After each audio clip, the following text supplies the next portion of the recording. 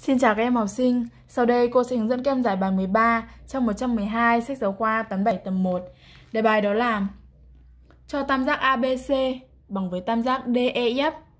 Tính chu vi của mỗi tam giác nói trên, biết rằng AB bằng 4 cm, BC bằng 6 cm, DEF bằng 6 5 cm. Chúng ta biết chu vi của một tam giác là tổng độ dài ba cạnh của tam giác đó. Như vậy, muốn tìm được chu vi của mỗi tam giác thì chúng ta sẽ phải đi tìm độ dài của ba cạnh của tam giác đó. Như vậy, từ hai tam giác bằng nhau thì chúng ta sẽ suy ra các cạnh tương ứng bằng nhau. Và chúng ta sử dụng thêm giả thiết cho độ dài các cạnh. Từ đấy thì chúng ta tìm ra độ dài các cạnh của mỗi tam giác. Từ đây thì chúng ta sẽ trình bày như sau. Ta có tam giác ABC bằng tam giác DEF nên chúng ta sẽ có tương ứng cạnh AB của chúng ta sẽ bằng với cạnh AB thì phải bằng DE. Vị trí thứ nhất, vị trí thứ hai, vị trí thứ nhất, vị trí thứ hai. Như vậy đây là DE.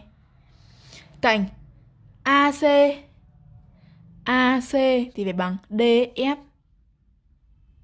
Cạnh BC thì phải bằng cạnh EF.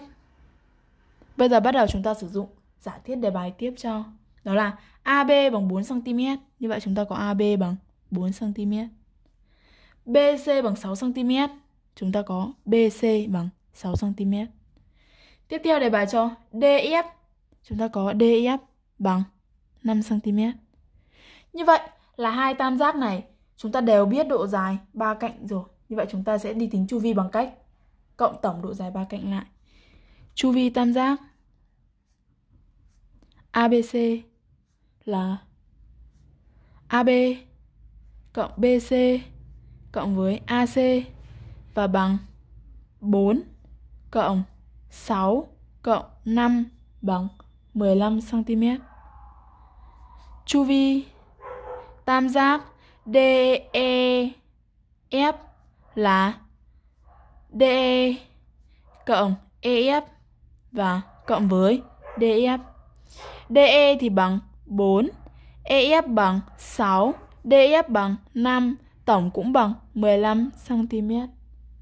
Như vậy, đến đây chúng ta đã hoàn thành xong bài số 13 trong 112 sách giáo khoa toán 7 tầm 1. Xin chào và hẹn gặp lại các em ở những video tiếp theo.